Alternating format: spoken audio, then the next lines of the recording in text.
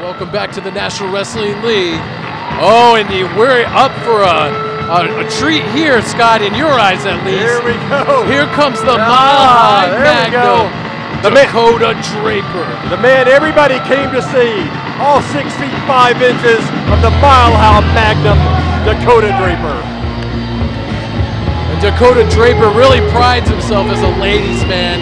He says that he can get any lady, right from out, out, out from underneath you. Well, I let me tell you something. I would never leave my wife alone with Dak Draper. I can assure you that.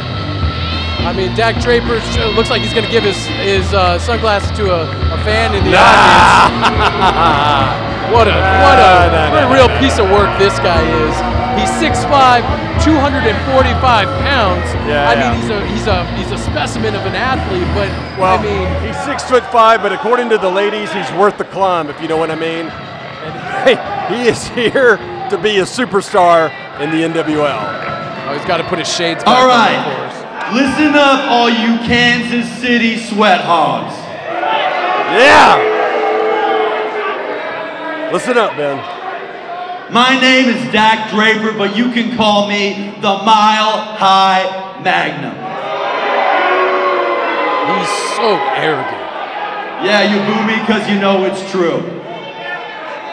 I'm the guy that every man wishes that he could be, and every woman wishes that she could be with. I, I, I, I sort of wish I could be like him. And I look out here at all of you and I feel one emotion disgust. Really trying to. Separating I mean, myself from people like you is the reason that I work out. Listen, what- you know, while I'm and on listen. it, I'm going to give you the opportunity. Nope. I'm going to give you the privilege Yes. to see a day in the gym with Dak Draper. Ah. Oh boy, Well, this is a real go. treat. Maybe you'll learn something here, Ben. Georgia. Carrie. Amy. Look at those biceps. Rebecca again. They're Just absolute perfect form. I is he naming off his conquest? Give me a break. Look at that. Look at that. Look at that. Sarah. Yeah. I mean, do you have some sort of man crush on You know, this when guy? you're Scott? 6'5", Nah, I just think he's really cool. handsome, super likable, you live your life by your own set of rules. That's right. Hey, Dak, That's you right. gotta finish yourself. Ah.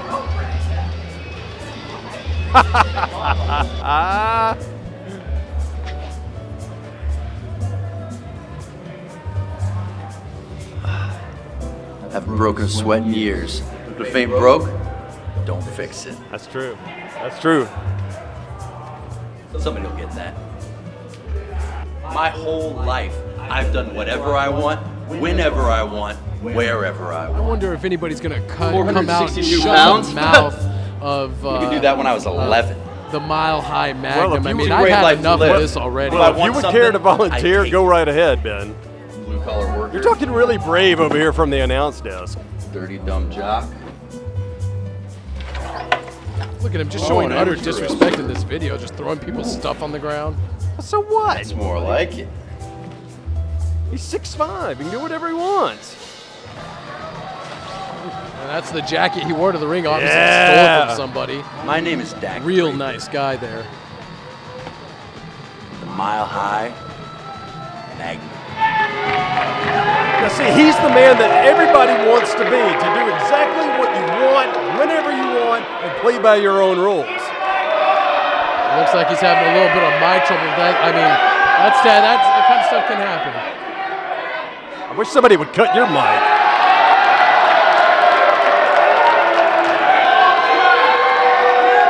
You know what? They don't. They don't even deserve to hear Dak Draper.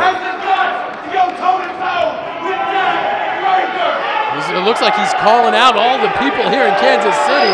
Someone needs to come out here why- and shut yeah. this Well, guy's mouth. Ben, why don't you get in there? I am not a wrestler. Yeah, you're not a commentator either, but that's not stopping you. Oh, here we go. Jordan Kastle, the young Who? upstart.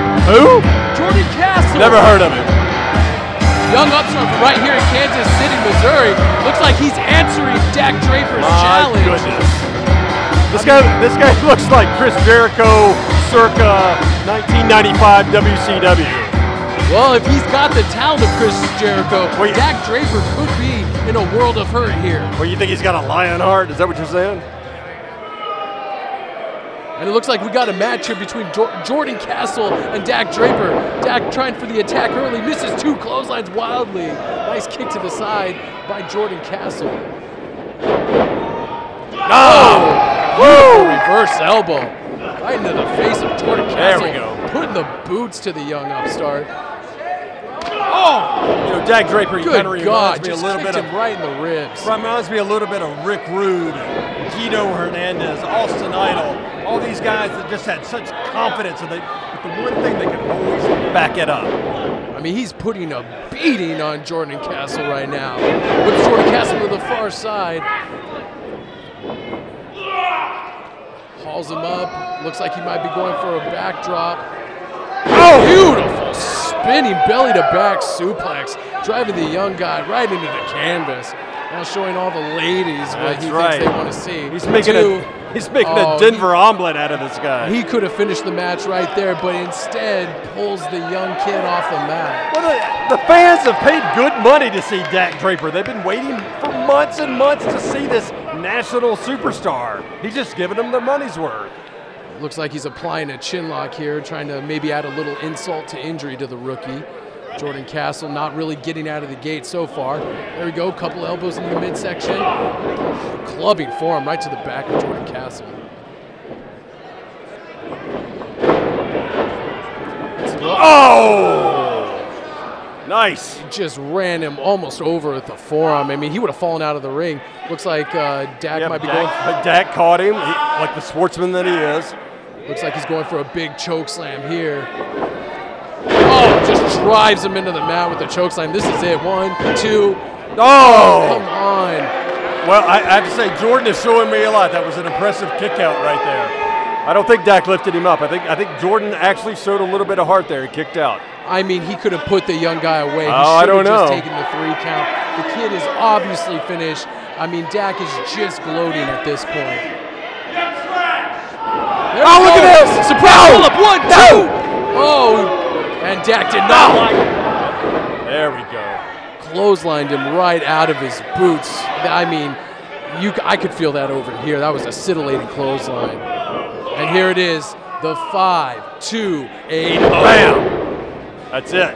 It's all academic. And Dak Draper puts away the young Jordan Kastle. Ladies and gentlemen, here is your winner, the Mile High Magnum, I mean, look at him. He's celebrating like he just won the Super Bowl. I mean, Well, I have to say, I think he's the odds-on favorite to win the KC championship, and I also think that he could go on to win the league championship. I think this guy's arrogance maybe is undoing, but let me tell you something. That was an impressive victory. And again, wins and losses, man, uh, are what matters here in the National Wrestling League. One thing I like about Dak Draper, he comes from Denver, so he doesn't care about this St. Louis KC rivalry. He's focused on one thing, and that's winning championships. I mean, he's gloating still in the Well, ring. of I course mean, he is. I, I, I mean, let's see if he faces another someone else on the Kansas City roster that could put up more of a fight than Jordan Kastle, and we'll see if he can celebrate this way. We'll see you next time right here on the National Wrestling League. Good night, everybody.